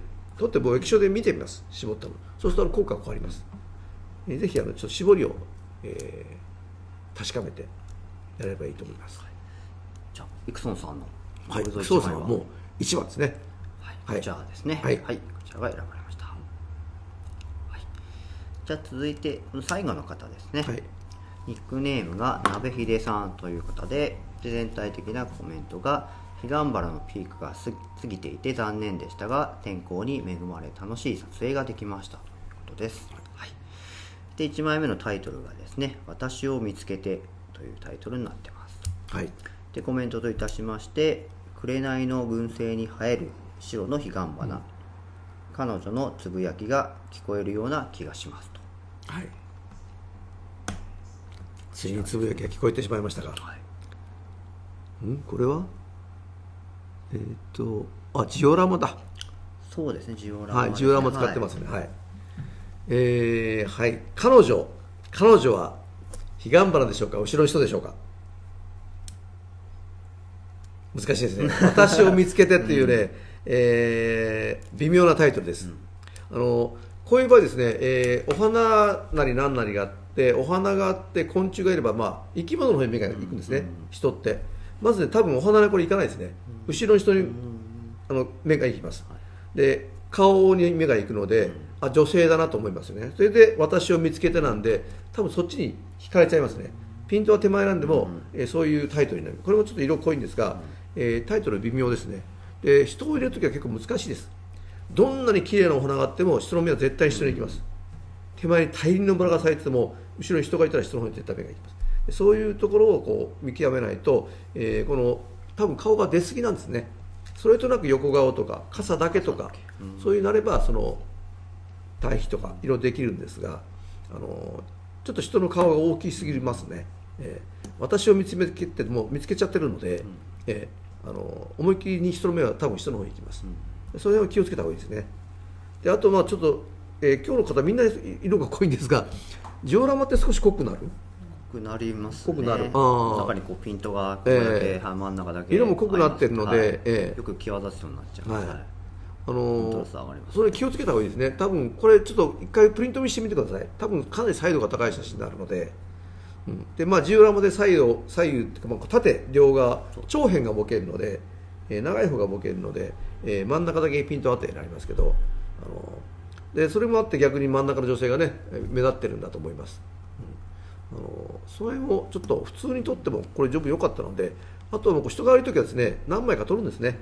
で人のアクション人はじっとしてませんから、えーこう動いてる中で何枚か撮る。でもう予測しながらチャッチャッチャッと撮ってくるね。チャッチャッチャッと撮って人の動きに合わせて、えーその絵作りをしていく。で多分人が多分顔が隠れたあたりが面白いかなと思いますね。ちょっと隠れて顔がちょっと出てるとか下半分出てるとかなると面白いと思います。人の分あの写真を撮るときは、えー佐々木啓太の真似です。チャッチャッチャッチャッチャッチャッと撮ります、えー、3枚連チャンで撮ります、えーそうすると動きが変わって撮れるのであの動きの中でいい写真が撮れてくると思います。はい。じゃあ続きましてですね2枚目ですね。タイトルが「紅花まんじゅうしゃげ。まんじゅしゃげ」紅花っていいんですかね。はい、はい。でコメントがですね「漆黒に映える紅花まんじゅしゃげ。ベタな構図で1枚と」はい。こちらですね。あ私も言ってます。どっかりど真ん中ってやつですね、はい。まあ、日の丸構図っていうよく言われますけど、日の丸構図は悪くないんですね。なんで日の丸構図悪くないっていうと日の丸構図っていうのはそのお花をどっと見せるときはいいんです。このお花だけ見てくださいって時はいいんですでなんで左右にずらせるかっていうとずれた方向に想像力が働くんですね、だそういう想像力が働くためにオフセットをするんですけど、どうだこの花っていう時にはもう真ん中でいいと思います。ただこの場合そのお花を見せるっているのかというとですねやっぱりちょっと芸をしちゃってですね右側に手前にボケを入れたりとかしてます、でそういうのが入ってくる時にはオフセットです、でこう手前芸させるんだったら左に寄せて手前にボケが入ったわけです。真正面向けて斜めにするそういうセオリーが出てくるので、えーまあ、お花がこれはたまたま綺麗なお花だったんですね。枯れてないしすごくいい花なんでええ。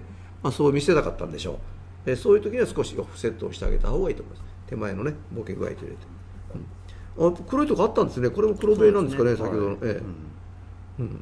黒と赤って結構相性がいいので、ね。ええいいので、うん。あのまあ、あの写真的に言うとですね少し黒のところにトーンが少し出るといいんですね、えーさっきの方は黒ベイという方見ましたけど、ちょっと黒ベイの雰囲気が出るとかですね。こう縦横のこうせあの板のラインがちょっと見えるとか、えーそういうのが出てくると同じ黒でも、あの奥いあのベタにならない、はいはい。べったり黒にしない。あとはぼーっとなんか黒っぽいなんかこうこうボケがこうグラデーションに出てるとかっていうトーンが出てると黒もあのしっかり生きてきます。ただベタにバカッと黒いとですねあのお花だけボンと浮いちゃうのであのイラストのようになってしまいますからそれを気をつけていただけば後ろにちょっとなんかこうアクセントを入れるといいと思いますね、うん。じゃあ続いて3枚目ですね「秋風のささやき」というタイトルになってます。これがガラッと変わってはい。えでコメントは本来は彼岸花で撮りたかった。残念という。デイドリームってことですかね。でしょうかね。はい。うんまあ、デイドリームはコスモス向いてますよね、うん。もうね。鉄板、はい。鉄板の組み合わせというか、ええ。あの割と明るめになって、ね。はい。明るめになってグリーンが強くなるんでしたっけ、うんそうですね。ではい。ずっと明るくなってグリーンが強くなるんでこうデイドリームですから、白日夢ってやつですから、ちょっとふわーっとした感じに映ります、えー、彼岸花ってどうなるかな、バックやったら面白いかもしれないですけどね、バックが変われば、うん。まあ、あのコスモスは鉄板なんでこれはもうそのまま取ればいいかなと思いますけど、えええー風にこう風を感じますよね。ね後ろがこうざっとなびいてて風があるなって感じがして動きがあっていいなと思います、うん。これもうストレートで言っても面白いじゃないですかね、うん。あの風をうまく捉えているのでえーシャッタースピードも結構速く取って、その動きを止めて、うん、あのちゃんと狙って狙い通り取れてると思います、まあ、後ろこれモニターの関係ですかね。後ろのハイライトがちょっときついのでボケて、えー飛んで飛びっぽいので、でその辺もちょっと、え気をつけたいところなんですがこれこっちのモニターで見てるとちょっとグラデーションが、えー会長が失われているので、えーまあ、これはちょっとプリントしてみてください、うん。あのーフィーダーですとこういうちょっとちょっとしたあの崩れトーンジャンプが起きることが多いので、えーそれはまあ気をつけていただければいいなと思います、まあ、これはあのノートブックのノートの画面なんでちょっとわからないんですが、ええそこは気になるところですね。ここでは判断できませんからちょっとご自分のやつでプリントをしてみて、えーチェックするところは左後ろのハイライトと。ここがこう段になってこう綺麗なグラデーションになってなければ、えー現像処理とか、えーその辺ここからもう一回やり直した方がいいと思います。トーンジャンプの危険性がありますね、はい。まあ、動きはもう止まっててすごくいいです。あのせっかく上のいいところが入ってるので手前をごちゃごちゃ切ってもいいですよね。フレーミングの時にあとあのトリミングじゃなくて手前の下の方あのつぼみやら、えー葉っぱやらぐしゃぐしゃっとしてるところなるべくこう目いっぱい切ってあのお花だけガッて入れてやるとすごくいいかっこいいですね。こうガッとなびいてて風を感じるいい写真だと思います、うん、あとせっかくもうデイドリームにしたんで露出もちょっと明るめにして、えふわっとですねもっと明るくしてもいいかなと思いますね。そうするとあのコスモスのあのなんかね儚い感じが出てくると思います、うん。なかなか面白いですね、はい。濃厚なのと淡いのと、はい。どっちかな？私個人的に3枚目ですね。2枚目もいいんですけどこれをちょっとフレームを変えてやってやると、なかなかいいかなと思うんですけどはい、ねはい。じゃあこちらが選ばれました。はい。はい。以上でですね一応まあ9名様の全ての作品をまあ公表終わりました9名ですか？はい。申し込み14名だったんですけど。そうですね。と 結構欠席がですね当日とかありまして、結局はまあ9名参加で、まあ、9名全員作品を出していただきましたけれども、はい。で一応この後はですね今から先生にですね、まあ、最優秀賞と優秀賞2作品ですね今から選んでいただきたいと思いますと、で今からちょっと選んでいただきますのでその間まあ映像はこのままなんですけれども音声だけちょっと音楽の方にちょっと返させていただいてですねこう口を読んでいただければわかるかもしれませんけども、はい、映像をこのままで、はい、ちょっと音楽に変えたいと思いますのでご了承ください。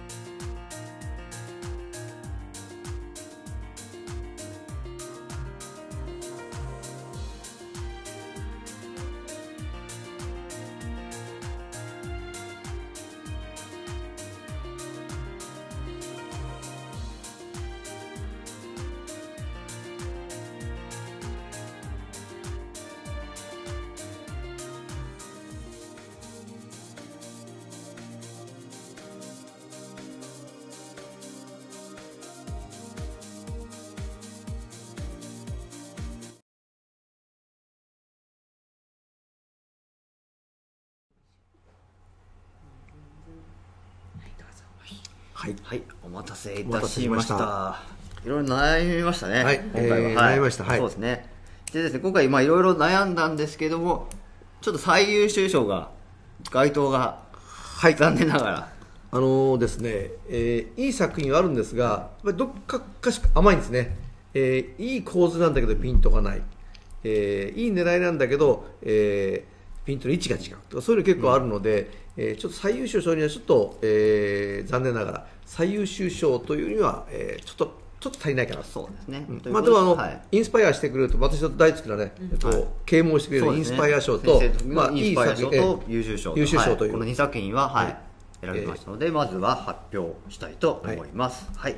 まずはですねインスパイア賞の方からまず発表したいと思います、インスパイア賞の方はですねニックネームが羽うささんのですね作品がはかなはかない。儚し儚い。儚い。儚しですね。儚い。はい。はい、こちらの作品が選ばれました。おめでとうございます。先生こちらを選んだはい。あのまあ、今あの花組でもちょっと枯れ物はやってるんですけど あの枯れたものって言っても終わってるわけじゃなくてですね、その中にまた美があるんですね。えそれをまたこう新たな目線で見るとそのその花ば花をって咲いた時じゃないぞと。枯れかけても面白いというそういう目のもものを見る目っていうんですかね、えーがあの新しいというか、えー広い目で見られるので、えーあの咲いてこう満開の場花ばじゃなくてこういう緑をつけてるっていうのがいいと思います、あとまたあのうまく処理ができててですね、えー後ろが真っ白に飛ばないようにちゃんと気を使っていてあのその枯れかけた微妙な色もよく出てます、ちょっとフレームをねあのフレームがちょっとあの気になるところなんですけどね。あの収まりが悪いのでこのどこをどう切ったのか。というのがちょっと気になるところで少しあの切れ切れてるところが気になります。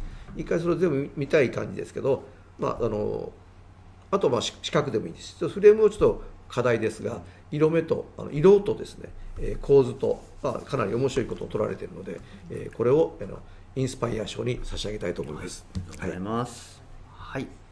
じゃあ続きましてはですね、まあ、ちょっと最優秀はないありませんので、はい優秀賞の方になりますと。はい。で、優秀賞の方はですね、ニックネームがですね、タルタニアンさんの作品が、このグレンカというこちらの作品が選ばれました。はいおめでとうございます。えーこれもですね選んどいていいのはなんですが ちょっとピント位置を変えましょう。もうこれこの構図はもう最高ですね。そうですね。これ私ちょっと次真似したいぐらいの構図ですから。多分これでピントがあっていうのが最優秀最優秀です。ね。ええ。はい。もう最優秀なんです。最優秀なんですけど、ちょっとねそのピントというかそのしこう一本ワンポイント惜しいんですね、あのこのフレームといいですね。あのこの色といい。あのもう面白いですね。これ私これ来年の彼岸まで必ず真似しますので。だからそうやって言ってるようにそのどこに何を主張するかって、まあ、例えばし私はしべって言いましたけどしべじゃなくてもいいですけどどっか一本ピッとこう、えーピントの芯がある場所。ここだよっていうのを見せてあげるともうマウンクラシン最優秀です、えあの色といい狙いといいバッチリなんで、えーこのまま。このままこのままです。あとはピントをどこに当てるか。頑張ってください、はい、おめでとうございます。はい。じゃあ続きましては先生今日作品をお持ちしていただいておりますので、はい。ちょっと先生の作品を見ながら、はい。はい、じゃあすみません皆さん、はいお目汚しですけどもね いやいやいやいや。じゃあ最初はここからですね。これですね。はいじゃあ先生の作品一枚目です。はい、どうぞ。はい。はいちょっとあの大きいの出ないあな出てないんですあすいませんははいえーとですねえーまああのタイトルが「えー、春光春光馬費」まあ天高くうまくよりですね、えーそれまあ4文字熟語にしてみてですね。はい。えー天気の良かったので天気のこう光の中の彼岸花ということで、え4枚組にしてみました。うん。これが出てる。あなるほど、はい。えーうんそれで4枚組にしてみて、あのまあ、3あ3 4 5枚組ですね、で3個目に上下2段であのお花と、えー入れてみました、最後はですね、えーちょっとこれ、行きがけの立ちみたいな感じで撮ったんですけど、あこれ、締めにいいなと思ってですね、あの光、えー当日すごい天気だったので、その光をちょっと表現してみようと思って、えーこういう組み方にしてみました。じゃあ一枚ずつ。はい、ですね、1枚目、はい、もうこれ、皆さんと一緒に撮ったとこですね、みんなが寄ってたかって撮ったところなんで、えー私があのどなたかが映されたところ、えーはい、は、はいい。はい。えーこんな作品になってます。はいえーまあ、私の場合はさっき言ってたあのどっちかというか広角で全てにピントを合わせる風を選んだんですね。望遠で後ろをぼかすんじゃなくて、えー、広角気味にして空を青くして空と雲がねちょうどいいとこ行かなかったですよ。で人のいいとこって右右行くと人が入らないとかですね。坂が斜めにならないとかっつんで本当はあの左の端のあたりに雲欲しかったんですけど雲ばっかり動かせないんででまああの彼岸花にピントを当てて、えー奥の人の動きですね、えー普通におじさんおばさんがおじさんが歩いてるとつまんなんところねつまんないんで、えーなんか日傘でも来ねえかなって話を日傘の人がパラパラと来たところを狙って撮りました、うん。えーまずあのこう手前じゃなくて奥の奥のとか、え真ん中の彼岸花にピント合ってると思います、うん。やっぱり赤と白の比率ですね。でピントの合わせ方の、えーポイントを、えー選んでいただければと思います。はい次です。これは望遠鏡の、えー望遠鏡の、えー作例ですね、あのーさっきみたいに広角で後ろをバカッと全部入れるんじゃなくて、え望遠で後ろをぼかして遠近感を出す。で、えーこれはだいぶ離れたところにあった一輪なんですね、まあ、これは割と綺麗だったので、えーいきなり土手に座り込んで撮り始めましてですね、えーこれのポイントはやっぱり稲穂ですね。後ろのあの黄色いラインを入れてやろうと、ちょうどそうですね。ええ。稲穂がなってたのでまあ、手前の赤もぼかしながら後ろの黄色をきれいに後ろのラインに入れてやろうということで、えー取りました、まあ、ピントも浅くして多分これ開放ぐらいだと75だと思うんですけど開放ぐらいで、えーもうピントはもうお花だけお花の前、えーお花というか、まあ、あのあの茎ですね。茎にしっかりはしてその全部に合うようにしてます。でえ先ほど言いましたあの黒茎が真っ黒にならないように、えーレフ板で手前から起こしてます、えー茎がこう逆光気味に取るときは黒くなるので、えレフ板で起こして明るくして、えー全体に明るいムードを出しています。これがまあ先ほどと広角と望遠の例ですね。はい、次3枚目。しつこく彼岸花取ってますね、はい。えーこれ猫じゃらしですね、えーこれもねちょちょっと3枚ぐらい取ったんですけど、あのーちょうど風でなびいて、はいはいはい。でピントを合わすのが、えー大変だったんで3枚ぐらい取ってやめたんですよ。ああ回れやと思った。ら1枚奇跡的にあったのがありましてですね、えー奇跡的に真ん中左上ぐらいのがあってるんですけど、えーまあ、この後ろの赤は狙っておりまして、えーそこにこうカメラを据えて、えー猫じゃらしがこう風でなびいてくるのを待ってたんですね。で待ってたんですけど、まあ、ピント合わないんでそそくとやめたんですがあよかったです。一番合ってて。えで、まあ、赤あの赤で彼岸花を想像させながら、えーちょっと想像力が広がるように彼岸花だけじゃないっていうことで一枚入れてやります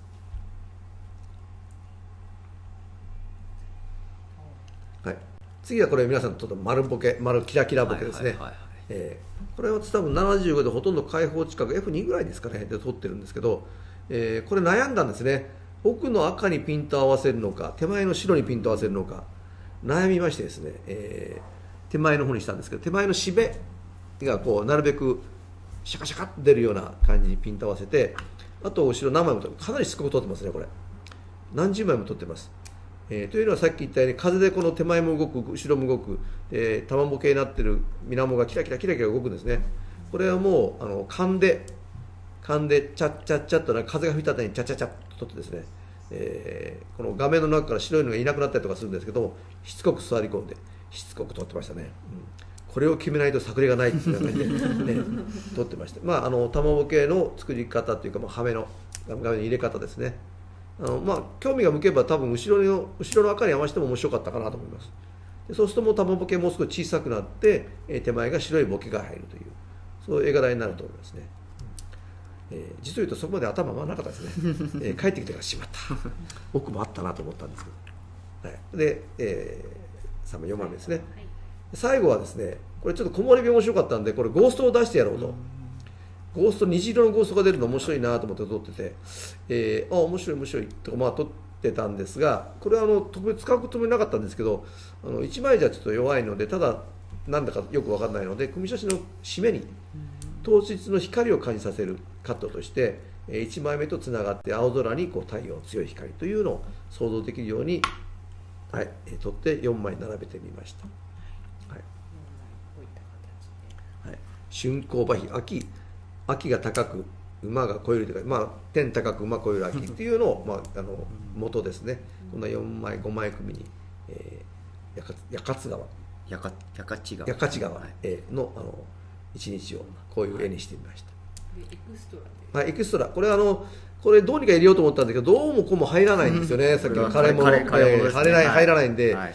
えーこれは別のカットとして1枚、はいえーまあ、さっき4文字熟語だったんで、これも4文字でしましてですね、えー、備前老衆、すごいでしょ？詩人でしょ？すごい。あのさっきのレテンじゃないですけど美は老衆の中に潜む、うん。あの枯れた中にも美しさがあるぞということで、えーこの1枚、えーまあ、先ほどの方は多分同じものか違うものか分からないんですけど、まあ、同じような同じようなところで撮ってたんで、えーこういうのが何本かあったのでこれ色を出したいなと思ってこういう、えーカットにしてちょっとトーンが難しかったんですけどあの上を少し焼き込んで、えーお花が目立つようにしております。うん。で、まあ、後ろの、えー撮影するときはですね後ろの、えー明るい部分が白飛びしないように露出を気をつけながら、えー撮ってギリギリですね、えーもうほとんどと飛んでるぐらいなんですけど、えーで上下の、えー色目を焼き込んで画面を締めています、でちょっと大きくできますかね？まあちょっとこれは。大きくできあできない。お客様のお家のご家庭の画面いっぱいに出ておりますんで。あなるほどなるほど、はい。多分これあの真ん中の、えーっと種というんですかね？グリーンの部分に多分ピントが合ってると思います。でお花のあの存在感ってまあその辺だと思うのでそこにしっかりピントを合わせてそこで出てくるこの、えー、ひげというかこう枯れた、えー、しべの面白さにこうつながっていけばと思います、えーだからお花はそのグリーンの種種ですかね。種っていうのかな、まあ、種になる部分ですね。そこの部分にピント多分来てると思うので、まあ、それがピントの芯にしてあります、それがまあ一応こだわりの部分ですね。はい。ということで、えーこう2パターン。これは1枚でいけるかなと思ったんで、えーまあ、これはあの八勝川じゃなくてそのその枯れ物というか、えー枯れたものの中にも美しさがあるよというような意味で。今盛り上がってる。んですね。はい花盛り上がってる。盛り上がってる。花枯れ込みで花じゃなくてこれ枯れ物で盛り上がってるんですね、えーまあ、そんなのもあってえー私も感化されまして、はい。えー最近ちょっと撮るようになりました、はい、まあこんな感じで、はい、ありがとうございました。はい、以上でですね、まあ高評会全体的に終わるんですけども、はい。最後に先生に、はい、あと、ダルタニアンさんからはい。おココメントがあ来ました、はい。来年の彼岸花楽しみになりました。ピントのシーン頑張ります。とのお声をい。ただきました、はい、あありがとうございりがとうございまます。す見ていただいてですね。ありがとうございます。はい。はい、先生全体を通して、はい、なんかなんですか濃かった全体なんか濃かった色が濃かった。ね。皆さん赤にこう、赤に引っ張られたんですかね、うん。赤に引っ張まあられてこう、天気もうん良かったんで、多分みんな結構青空を出したいとか、ええ。なんですただもうあの、まあ、お花が傷んでたら待って逆にちょっとそこをこう意識したのかもしれないですね、こう赤を出そうとしてああになったのかもしれないですけど、もう基本的にはまあそういう傷んでるところ入れないようにしてあげるのが一番ですね,、うん。で全体的に上がれるとやっぱりこのサイドが高くなると、あのちょっときつい画面になります、うん。でさっき言ったようにちょっとやりすぎるとシュールな感じになっちゃうんで、えー非現実的になっちゃうので、まあ、それの兼ね合い。はい、そうですね。あとはもうあのサイド空なんかだとサイドを上げないで暗くしてやるだけで結構あの濃密な感じが出てくるので、えー少しその焼き込みとかね追い焼きとかちょっと覚えていただくと、レタッチを覚えていただくとかなりそれで絵作りが幅が広がりますので、えーぜひそれをチャレンジしてみていただけると思います。じゃあぜひ来年はこの満開の時に、はいピタッと。もう彼岸のなかね合わないんですわこれなかが。なか日が短いですからね、ええ。この期間が。まあでもよく持ちましたね。そうですね、えまあ、逆にその、ね、枯れ物も今回、はい。まああの逆になかなかね、普通は多分皆さん取らないような、そうだから皆さんこう、はい。あの考えてますよねいろいろ、うん。そうですね。いろいろ工夫彼岸花ってじゃなくていろいろこううん。考えてらっしゃる、それがまあ、えー逆にね、広いものだったかなと思います、はい。えーでそれをすべてね撮影の時はすべてそういうふうに、えー先ほどのなんか撮る方もいましたよね。こうこれを撮りたいって狙いを持っていくのがやっぱり大切だと、はい。行ってわーって撮っちゃうと、えーまあただのん。記念写真になっちゃいますので、こう撮りたいなあ撮りたいなと思って持って行って現場であ違うと思ってまたそこで変えるという、えーまず持って考えていくっていうのが、うん。あの楽しい撮影、はい楽しい撮影だと思います。はい。そうですね、はい、ありがとうございました。ははい。いそれではね、最後に先生、次回の撮影なんですけれども、これ、切り替わりますかね。はい、で次回はですね、まあ、ちょっと今回はまあ東京になってしまうんですけれども、じゃあまあ来月11月22日ですね、まあ、紅葉の江戸東京建物園のライトアップを撮るということで、紅葉とライトアップという、はい。はい。三脚必須ですよ。三脚必須です。そうですね。はい、はいえっと先生ここ行かれたことは？